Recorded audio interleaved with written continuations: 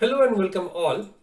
In this lecture, we shall create a movie class as model for the application. So let's flip over to the Blazor movie app. Now, first of all, I would like you to please verify two NuGet packages, which are very essential because we'll be using Entity Framework Core for this application. So let's click right click on the Blazor movie app and manage NuGet packages.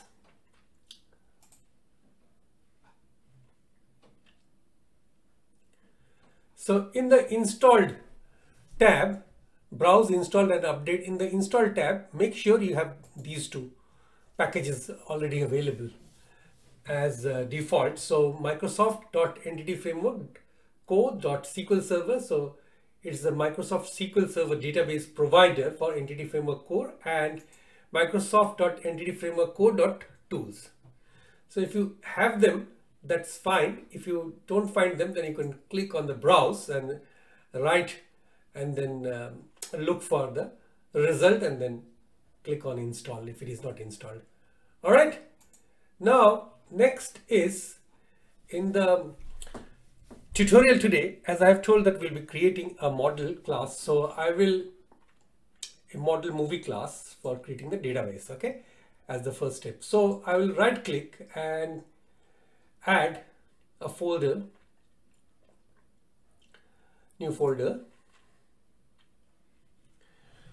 call this models.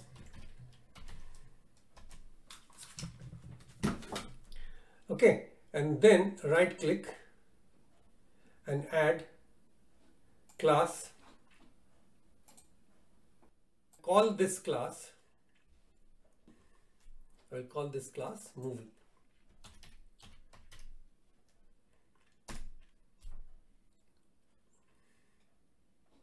So movie class with the blank class is created for you. Now I will start filling it. So first of all will be the property uh, this uh, prop tab tab so it will introduce a shell of a public property.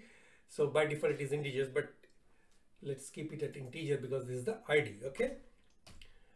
And let's make it explicit. It's a key, primary key. So if I write key over here, it will come up with a squiggly line.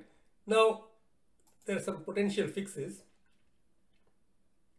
So I'll have to use this system.component dot component model dot data annotations and it will go all right and then a few more public properties like uh, prop tab tab string title title for the movie because it's a movie database so I need a movie title. And then prop tab tab and this will be the movie release date so it will be of type date time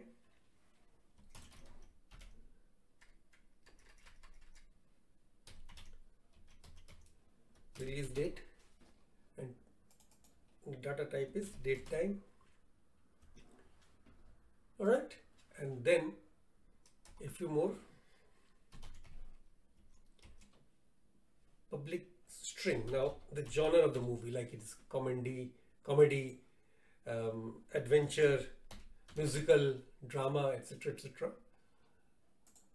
So public string genre, genre you can say, or prop tab tab.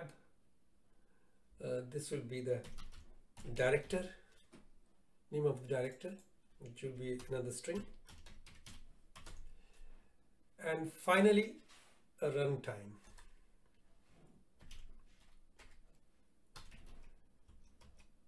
So this will be left as integer because it's it will say tell you the running time of the movie in minutes running time all right so the movie class is created.